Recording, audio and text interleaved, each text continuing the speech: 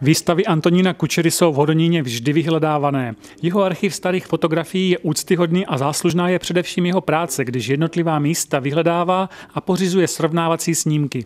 Aktuálně se výstavou v regionálním centru zaměřil na staré hospody a restaurace. Do hospod se dostane všichni nejhorší nebo největší abstinence občas do hospody dostane. Slavíme tam různě narozeniny, svátky, bohužel taky pohřby. A, takže s těma hospodama všichni máme občas něco společného. Vysvětlil autor výstavy s tím, že mu šlo hlavně o tradiční zařízení, která si v životě místních vydobila postavení. On sám nejraději vzpomíná na kavárnu Slávia, která mu připomínala stejnojmené zařízení v Praze.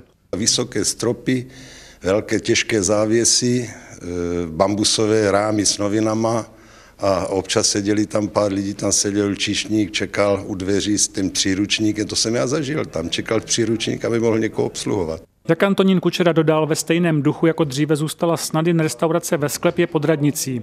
Všechny ostatní se změnily, některé jen zařízením, mnohé i účelem.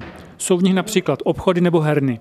Objevily se ale nové restaurace, které ovšem postrádají starou noblesu, což platí především pro personál, který si z dětství a mládí Kučera pamatuje. Už jsme si jako kluci mysleli, že si můžeme dát pivo. Šli jsme do hospody, aby jsme nebyli vidět ve městě, tak jsme šli do, zá, do hospody ke Karašínským na Zámecké náměstí a sedli jsme si, že si dáme pivo. Teď se objevil pan Karašínský, ubrouskem utřel stůl, který byl stejně čistý, říká, pánové si dají sodovečku, No a my jsme si dali sodovečku a seděli jsme a nebáli jsme se říct, že chceme pivo.